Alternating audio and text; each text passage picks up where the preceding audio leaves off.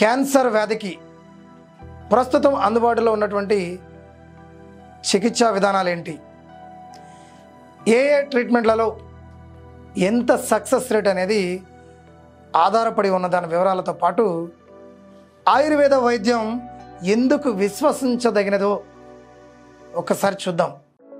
Chemotherapy radiation surgery లేకుండా ప్రాచీన రసాయన ఆయుర్వేద పద్ధతిలో క్యాన్సర్లకు అద్భుత ట్రీట్మెంట్ అందిస్తూ అత్యద్భుత ఫలితాలు సాధిస్తున్న పునర్జన్ ఆయుర్వేద అండ్ సిద్ధ హాస్పిటల్ హైదరాబాద్. అందరికీ నమస్కారం. పునర్జన్ ఆయుర్వేద ఛానల్కి స్వాగతం. మొదటగా క్యాన్సర్ వ్యాధికి ఉన్న చికిత్సా విధానాలు ఎన్ని రకాలు? అవి ఏమిటి? ఈ వివరాలు ఒకసారి చూద్దాం. సాధారణంగా క్యాన్సర్ సోకిన వారంతా ఇన్స్టెంట్ రిలీఫ్ కోసం నేరుగా అల్లోపతి వైద్యాన్ని ఆశ్రయిస్తూ ఉంటారు. అల్లోపతిలో వారు ముందుగా పేషెంట్ యొక్క స్థితిగతులను అదేవిధంగా వారి యొక్క ఆరోగ్య స్థితిని బట్టి సర్జరీ కానీ రేడియేషన్ కానీ లేదా కీమోథెరపీలలో ఏదో ఒక ట్రీట్మెంట్ అనేది స్టార్ట్ చేయడం అనేది జరుగుతూ ఉంటుంది. ఒక్కోసారి ఈ సర్జరీతో పాటు కీమోథెరపీ అండ్ రేడియేషన్ థెరపీ కూడా చేస్తూ ఉంటారు. క్యాన్సర్ ఎన్నో దశలో ఉందో నిర్ధారించిన తర్వాత ఏ ట్రీట్మెంట్ చేయాలన్నది అప్పుడు నిర్ణయిస్తూ ఉంటారు ఈ అల్లోపతి వైద్యులు. ఒకవేళ క్యాన్సర్లు మొదటి దశ దాటుకొని రెండో దశను కూడా దాటి మూడో దశ లేదా చివరి దశ అంటే నాలుగో దశ చేరుకుంటే మాత్రం ఈ అల్లోపతి వైద్యులు ఇమ్యూనోథెరపీ లేదా టార్గెటెడ్ థెరపీ. పాలియేటివ్ క్యూరింగ్ ఇటువంటి అత్యవసర ట్రీట్మెంట్లకు కూడా ప్రాధాన్యత ఇస్తూ ఉంటారు వీళ్ళు. తొందరగా నయమవ్వాలన్న కారణాలతోటి అత్యధిక క్యాన్సర్ పేషెంట్లు అల్లోపతిని ఆశ్రయిస్తూ ఉంటారు అనుకుందాం అంతవరకు అంతా బాగానే ఉంది కానీ వైద్యులు చెప్పిన దానిని నమ్మి వారు సర్జరీ అంటే సర్జరీ రేడియేషన్ థెరపీ అంటే రేడియేషన్ థెరపీ అట్లానే కీమోథెరపీ అంటే కీమోథెరపీ ట్రీట్మెంట్ చేయించుకుందామని డిసైడ్ అవుతూ ఉంటారు. ఇది కూడా బాగానే ఉంది.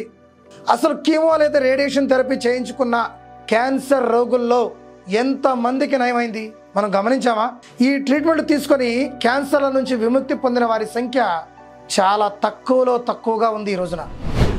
క్యాన్సర్ కణాల సముదాయాన్ని లేదా క్యాన్సర్ గడ్డని కీమో లేదా రేడియేషన్ ద్వారా విచ్ఛిన్నం చేసి నాశనం చేయడం వరకు అంతా బాగానే ఉంది. కానీ ఆ కణాలు మళ్ళీ శరీరంలో వేరు వేరు చోట్ల ఎందుకు పుట్టుకొస్తున్నాయి? ఎందుకు ఇవి మళ్ళీ మళ్ళీ వృద్ధి చెందుతూ ఉన్నాయి? ఎప్పుడైనా ఆలోచించారా? ఎందుకంటే ఈ కీమోథెరపీ యొక్క ప్రభావం నేరుగా రోగి యొక్క రోగ నిరోధక శక్తి మీద పడుతుంది కాబట్టి కీమోథెరపీ వలన శరీరంలోని ఇమ్యూనో వ్యవస్థ పూర్తిగా దెబ్బతినడం అనేది జరుగుతుంది.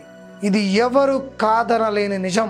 ఎప్పుడైతే శరీరంలో ఇమ్యూనిటీ దెబ్బతింటుందో వైరస్లకు కానీ క్యాన్సర్ కణాలకు కానీ కొత్త శక్తి పుట్టుకొస్తూ ఉంటుందన్నమాట. దీనికి కారణంగా ఈ కణాలు మళ్ళీ హెచ్చించుకుంటూ పెరిగిపోయి మళ్ళీ గడ్డలుగా ఏర్పడుతూ ఉంటాయి. కొత్తగా ఏర్పడే కణాల కోసం మళ్ళీ సర్జరీ రేడియేషన్ లేదా కీమోథెరపీ. ఇది నెవర్ ఎండింగ్ ప్రాసెస్ లేదా సైక్లింగ్ ప్రాసెస్ అని మనం చెప్పుకుంటే బాగుంటుందేమో దీన్ని. వీటన్నిటిని పక్కన పెడితే క్యాన్సర్ వ్యాధికి అత్యుత్తమమైనటువంటి వైద్య విధానం ఏదైనా ఉంది అంటే అది సనాతన సాంప్రదాయ ఆయుర్వేద వైద్యం మాత్రమే. అందులోనూ రసాయన ఆయుర్వేద వైద్యంలో క్యాన్సర్ వ్యాధికి బ్రహ్మాండమైనటువంటి అనుభూత యోగాలు ఈ రోజున మనకు అందుబాటులో ఉన్నాయి. క్యాన్సర్ వ్యాధికి చికిత్స చేయడం అంటే ఏదో క్యాన్సర్ కణాలను గడ్డను తొలగించడానికి సర్జరీలు లేదా మందులు వాడడం కాదు. వ్యాధికి కారణమైన మూల కణాల మీద చికిత్స జరగాలి. ఆయుర్వేదంలో లభ్యమైనటువంటి ప్రధాన మూలికలతో తయారు చేసినటువంటి అనేక రసాయనాలతో రసభస్మాలతోనూ కూడినటువంటి అద్భుతమైనటువంటి యోగాలు మన ముందున్నాయి ఈ రోజున. ముందుగా క్యాన్సర్ కణాల విభజనను అడ్డుకోవాలి. అలా చేయాలంటే రూట్ కాజ్ మీద ట్రీట్మెంట్ చేయాల్సిన అవసరం ఉంది.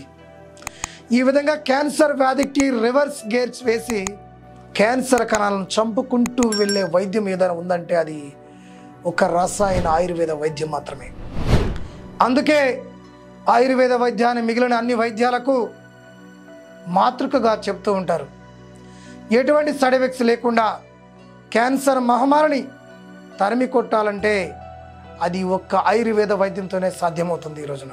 ఇవి క్యాన్సర్ చికిత్సలో ఉన్న ప్రధాన చికిత్సా విధానాలు వాటి వలన కలిగే ప్రయోజనాలు.